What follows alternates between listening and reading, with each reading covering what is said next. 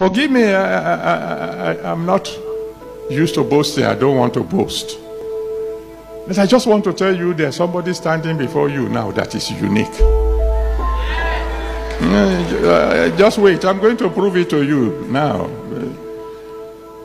I am the first to have MSc Mathematics of the University of Lagos.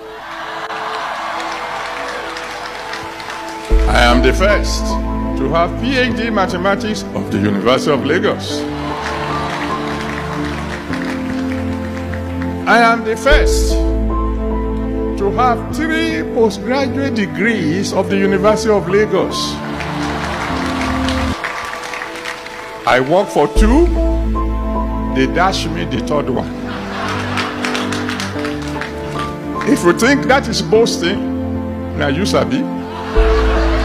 The thing I'm saying is that God can make you stand on your feet and cry unto Him and say, Father, make me uniquely good, uniquely great.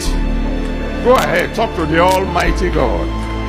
He can make you great, uniquely. He can make you uniquely outstanding.